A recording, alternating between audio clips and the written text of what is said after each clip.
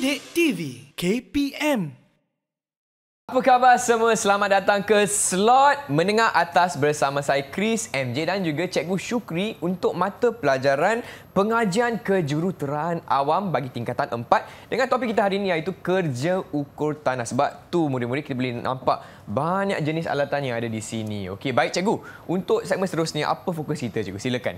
Okey, teruskan ya, Ya. Chris ya.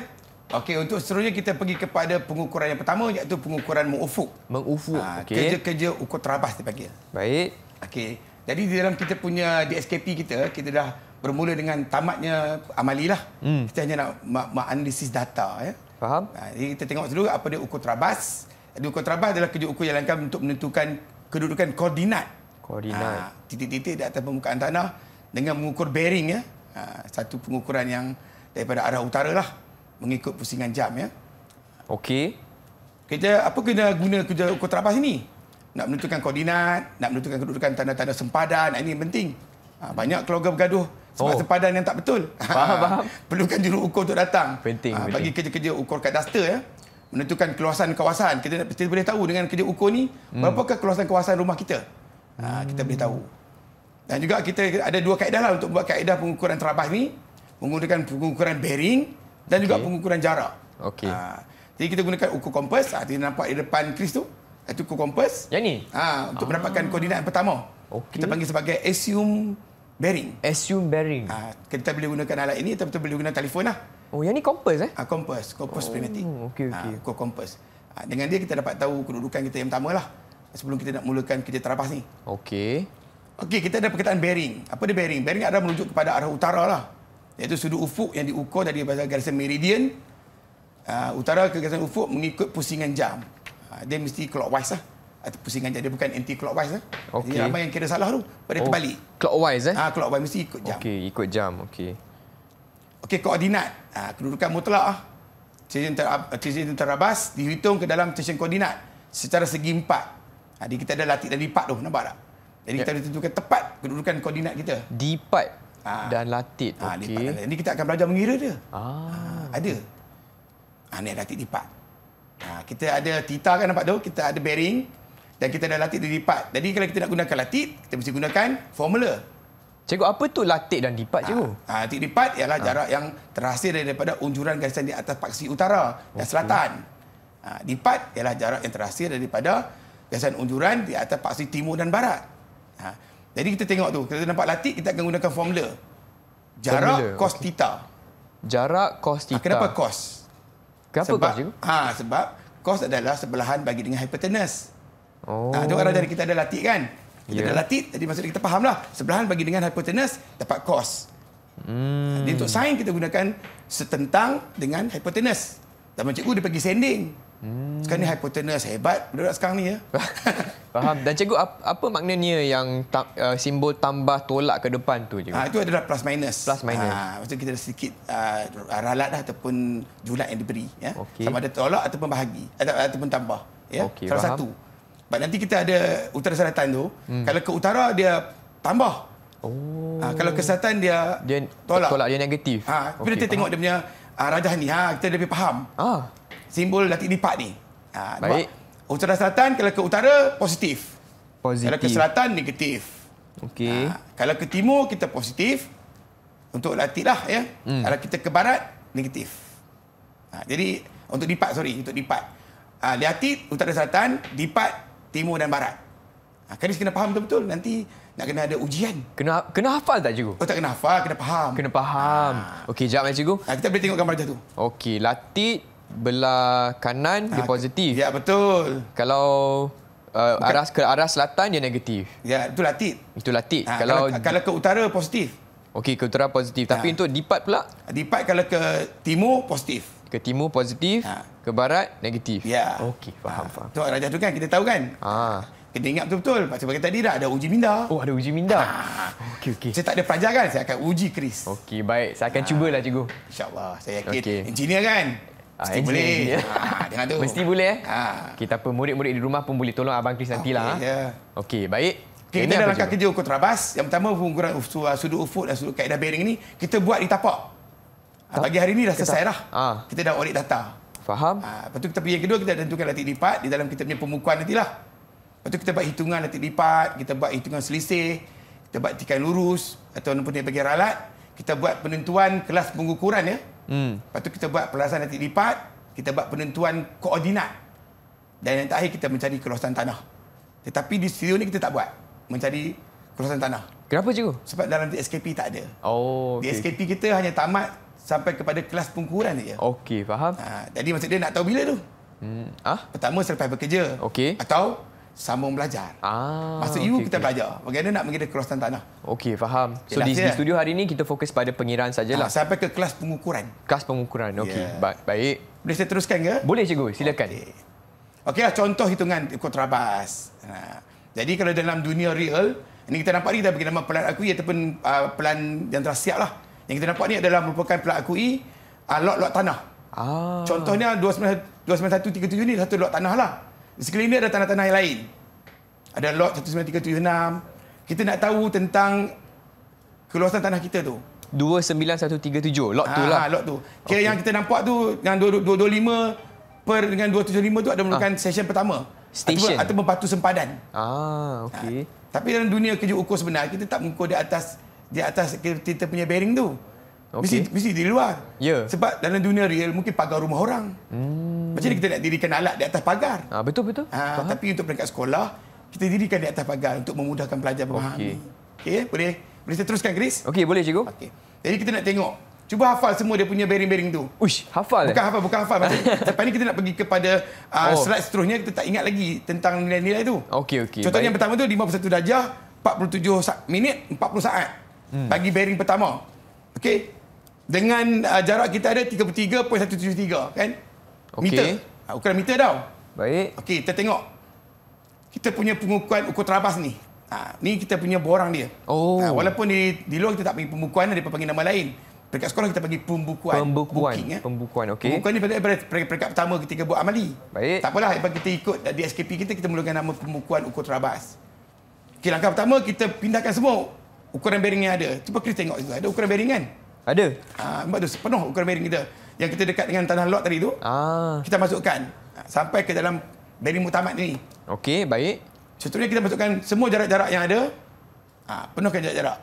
Semua ni maklumat kita ambil daripada plan akui tadi lah. Ah, betul? Ha, Cuma kita pindahkan nilai je. Okey, Okay, faham. sekarang ni barulah kita nak mengira latih lipat. Yang cikgu cakap tadi tu. Ah, okey, yang baik. kos dengan sin tadi tu. Ya. Ha, saya yakin semua sangat bijak. Semua suka cosine. Yang, yang ni kita kena guna kalkulator Ah, kan mesti tu? kalkulator saintifik. Okey. Okey, kira dah bersedia ke? Dah Cuba bagi contoh satu. Okey, baik. Okey. Ha, sekarang cuba kita tekan tau. Okey, kita nak mengira latih. Okey. Uh, formula dia adalah jarak cos theta. Jarak kos Jarak 33.173. Okey, Jarak satu. dengan cos 51 darjah, 41 minit, 40 saat. Berapa ke jawapan dia? 51 tapi cikgu macam mana saya nak nak nak masukkan data untuk untuk uh, bearing cikgu dalam kalkulator Bearing dia ada dia ada nombor, dia ada macam bulat-bulat uh, sudut tu. ah okey Ada okey kan dia ada macam sudut yang kita dekat kalkulator kan ada benda bulat-bulat tu. ah, ada ada ada Ah tekan situ. Okey. Empat satu tekan bulat dia dia keluar sebagai minit darjah dulu. okey tekan kali 47 kedua dia, dia, dia jadi minit. okey dan 47 lagi satu uh, 40 Ya. Yeah. okey Dapat berapa jawapan dia, Chris?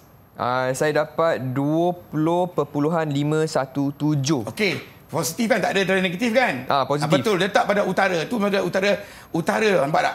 Tepat, betul lah. Kagum ah. terima kasih cikgu Okey, teruskan Okey. mengira. okey Untuk baik lipat, lipat kita guna sin. sin Jarak sin theta. okey jarak sin theta okey Ya. jadi 33 perpuluhan Ha, 173. 33.173 Ah, sin Darat dengan bearing dia, sin bearing. 41 Okey. darjah, 41 minit, 40 saat.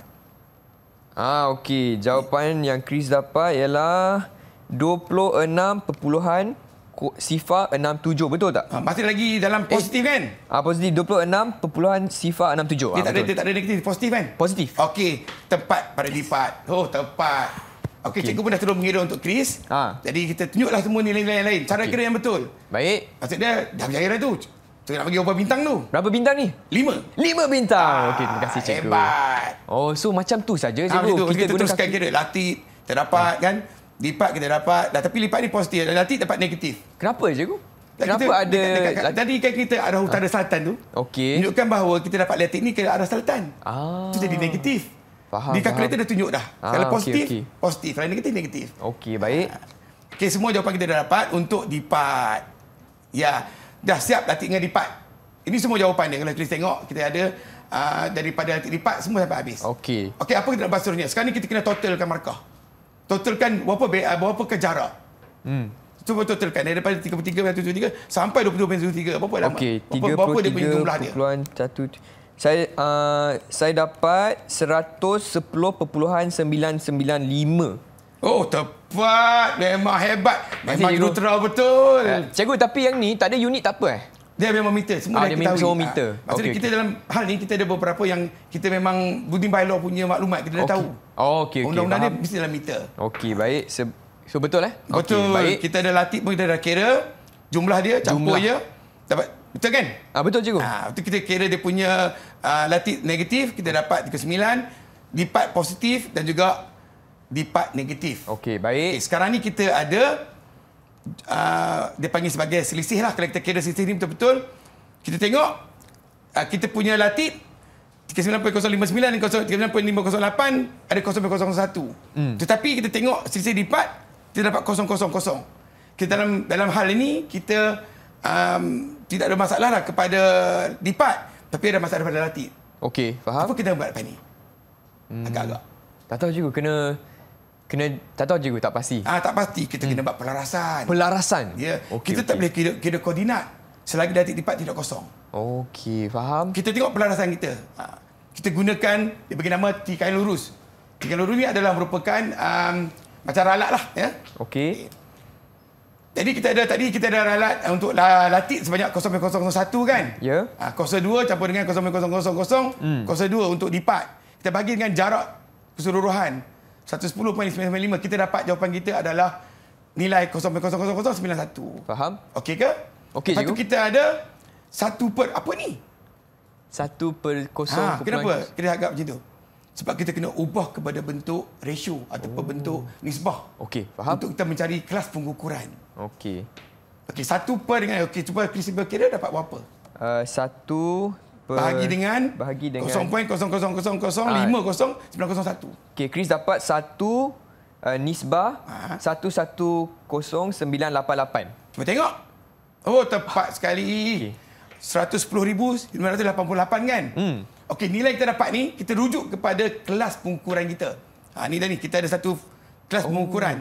Okey. Okey, dari sini kita dapati kelas pertama adalah lebihi melebihi 1 disebah 8,000. Hmm. Kita dapat 110,000. Okey. Lep- Lepas ke tak lepas? Uh, lepas cikgu. Ha, kita dalam Dia kelas ke pertama, atas. kita dalam kelas berapa tu? Dia kelas pertama. Oh, hebat. Kita dalam kerja ukur, dalam kelas pertama ni kira hebat lah. Okey. Kira maksudnya kita tak payah ulangi proses kerja ukur. Ah, okey, nasib baik. Maksudnya kerja ukur kita dia terima. Faham? So, tadi kelas pengukuran kita bagi kerja ukur terbaik ini adalah kelas pertama. Hmm. Ha, barulah Okey. kita boleh teruskan kepada next step ataupun langkah seterusnya. Okey, apa langkah seterusnya cikgu? Ha, kita buat adik lipat. Nak selaras dulu. Tadi dah dapat kelas pertama kan? Ah. Ya. Tapi kena selaras juga. Kaedah body ataupun kaedah transit. Okey. Ha, ni di peringkat profesional lah. Hmm. Tapi di peringkat sekolah kita hanya menggunakan Kaedah? kita hanya menggunakan um, kaedah campur tolak je. Campur tolak. Okey. Contohnya, kita ada tengok contoh 39.059 dengan 39.0508, beza dia 0.01, kecil je bezanya. Hmm. Ni 0.01 meter tau. Ya. Kalau kita convert ke dalam mm, kita darab 1000, Oh. 1 mm. Ah, faham. Kesilapan yang berlaku. Punya hebatnya, tapi dia ambil kira. Oh, satu 1 mm pun mm, eh? kena betulkan juga. Okey, okey, kena tepat lah. Okey, faham? saya betulkan 1 mm dulu nampak? Ah. Saya campurkan ke mana? Saya campurkan kepada jarak yang panjang. Dalam kes ini kita ada jarak yang panjang iaitu 35.191. Lebih hmm. panjang daripada jarak-jarak yang lain. Betul. Tambahkan 0.01. Ah, Jadi dia ada bertukar kat sini. Jadi 39.059. Sama dengan sebelah. faham. Jadi kita dah habis. Kita Oh. punya uh, ralik dan lipat 0.000 serentak. Okey. Jadi sekarang ni baru dah kita boleh mengira koordinat. koordinat. Ah, Sebab kita dah betulkan. okey. Faham? Ha, jadi kita gunakan koordinat. Nampak? Kita nak hitung koordinat. Senang je koordinat Okey, dia. satu. Kita ambil koordinat yang pertama daripada latih. Kalau latih positif, kita campur. Hmm. Ha, contohnya kita campur, kita akan dapati kita dapat 1020.517. Koordinat yang pertama. Jadi, koordinat untuk lipat, Ah. kita macam juga positif kita campur juga. Campur juga. Campur juga dapat 026.067. Tadi ah. yang kedua kita dapat uh, latit untuk uh, yang kedua Garisan sesi ketiga. ketiga ya. Tapi itu negatif. Negatif tolak. Dari, dari tolak. Ah. Lepas kita tolak dapat kita tolak kan? Ya. Ah, lepas tu kita dapat lagi untuk di part pun sama juga kita tolak campur. Tam- campur. Positif kan? Faham? Sesi keempat kita dapat negatif kita tolak. Okey? Lepas tu sesi keempat kita dapat uh, negatif juga tolak lagi. Hmm. Dan akhirnya kita tengok keajaiban. Dia dapat balik lepas kita campur dapat seribu. Ui. Dah di tempat yang sama. Ah. Okay, kita dengan Ah, section satu. okey, okey, balik ke section satu. Dan kita Sama. dapat koordinat yang sama. Baru betul. Okey, baiklah. Terima kasih cikgu. Itu dia perkongsian cikgu Syukri bagi topik kita hari ini iaitu kerja ukur tanah, pengukuran me- mengufuk ya cikgu? Ya. Okey, baik tapi sebelum kita teruskan kita akan berehat sebentar. Jangan ke mana-mana kembali lagi ke slot menengah atas di TV KPM. Meng-